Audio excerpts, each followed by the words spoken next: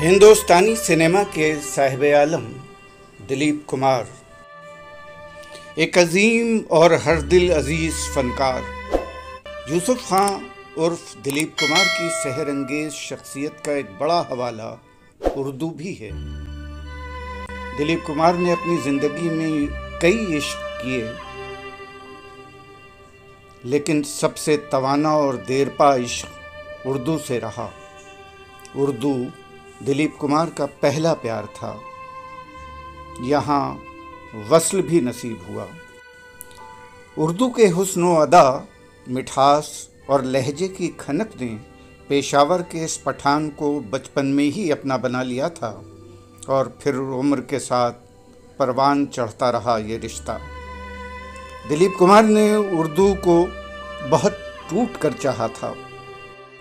ये इश्क उनके फ़िक्र ख्याल ज़बान बयान ही नहीं उनकी पूरी शख्सियत में झलकता था। लहजा मली है। कि नमक खार हूँ तेरा। लहजा मली है।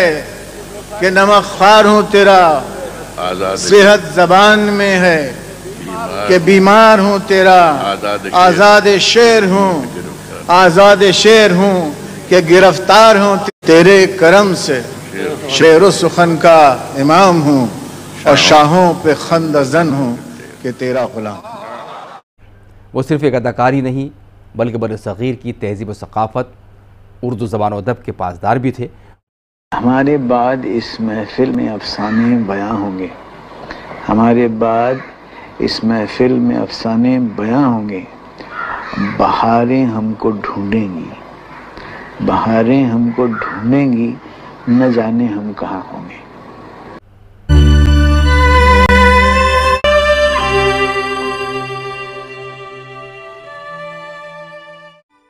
अपनी बेपनाह मसरूफियत के बावजूद वो उर्दू की महफिलों में शिरकत के लिए वक्त निकाल ही लेते थे। मैं ये चाहता हूँ कि आपकी इंतज़ार की घड़ियाँ ख़त्म हो जाए। तशरीफ़ ला रहे हैं जनाब दिलीप कुमार।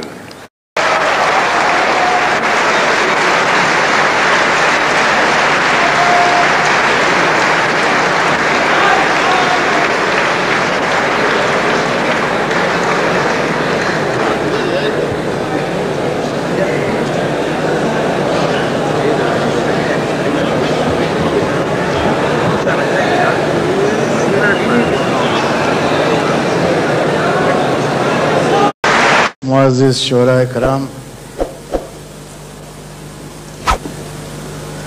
मेरे अज़ीज़ और मोहतरम भाई कुंवर महेंद्र सिंह बेदी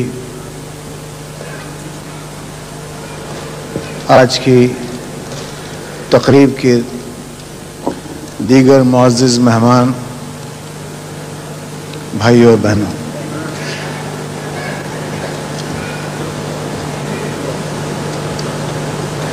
वो कैफियत तकरीबन ऐसी है कि सुकून दिल के लिए कुछ तो एहतमाम करूँ और ज़रा नज़र जो मिले फिर उन्हें सलाम करूँ। मुझे तो होश नहीं, आप मशवरा दीजिए। मुझे तो होश नहीं, आप मशवरा दीजिए। कहाँ से छेड़ूं फसाना कहाँ तमाम करूँ?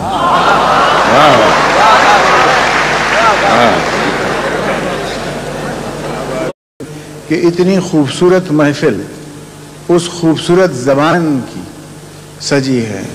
हम आप यहाँ किसी के लिए यानी एक दूसरे की बातें सुनने के लिए नहीं आए बल्कि शेर व अदब नगमा सुखन की वो हुस्न और उसकी वो चाशनी जो कि उर्दू ज़बान में जज्ब है। उसके लिए हम सब यहाँ पर आए हैं। पाकिस्तान के माशरे को उर्दू ज़बान ने बड़ी जीनत बख्शी है, बड़ा हुस्न बख्शा है। उसी माशरे में, उसी दिल्ली में इस ज़बान ने परवरिश पाई जहाँ के थोड़ी देर तक के लिए हमें एतराफ़ करना पड़ेगा कि उर्दू यतीम हो गई। शेर है मुझे कि जहाँ में अहले ईमा सूरत खुर्शीद जीते हैं वाह वाह वाह। जहाँ में अहले ईमा सूरत खुर्शीद जीते हैं इधर डूबे, उधर निकले, उधर डूबे, इधर निकले।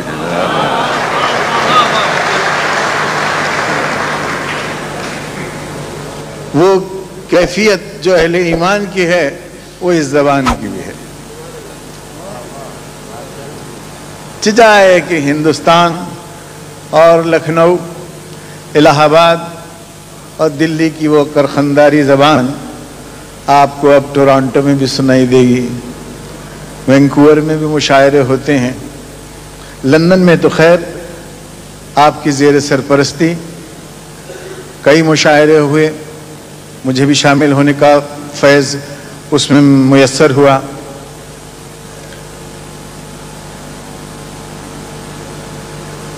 और यहाँ तक कि जो लोग नहीं नहीं भी समझते, जबान को नहीं समझते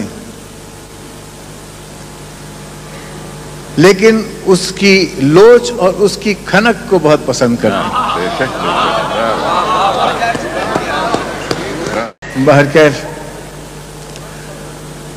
मैंने तो ये जोश साहब की मेरा ख्याल गैर मतबूआ नज़म है और एतराफ़ करना पड़ेगा कि कुंवर साहब से ही सुनी।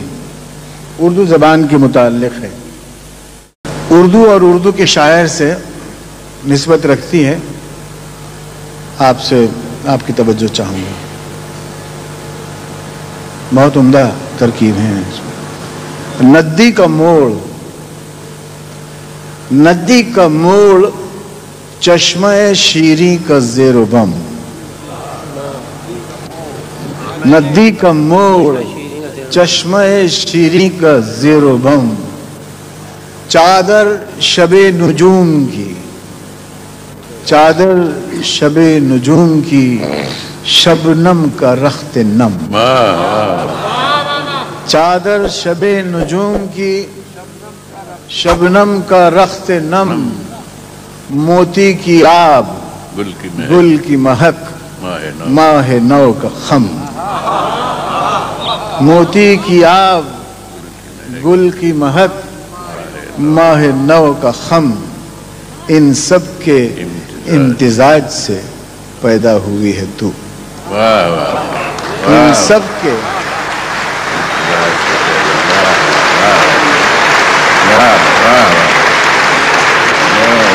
इन इन सब के इम्तिजाज से पैदा हुई है तू और कितने हसी उफक से हवेदा हुई है तू। वाह वाह वाह वाह वाह